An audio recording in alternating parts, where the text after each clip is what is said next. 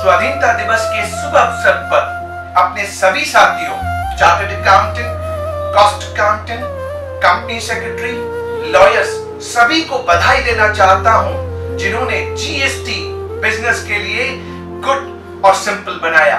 GST ने हमें आज़ादी दिलाई multiplicity of taxes 17 indirect taxes 23 sets merging into one basket called GST हमें आज़ादी मिली कैस्केडिंग ऑफ़ टैक्सेस से टैक्स ऑन टैक्स हमें आज़ादी मिली डबल टैक्सेशन से। और पहली बार यह देश एक सूत्र में बधा one nation one tax applicable all over India from Kashmir to Kanyakumari irrespective of any language, religion, race and caste. आप सभी बधाई के पात्र हैं जिन्होंने जीएसटी को गुड एंड सिंपल बनाया।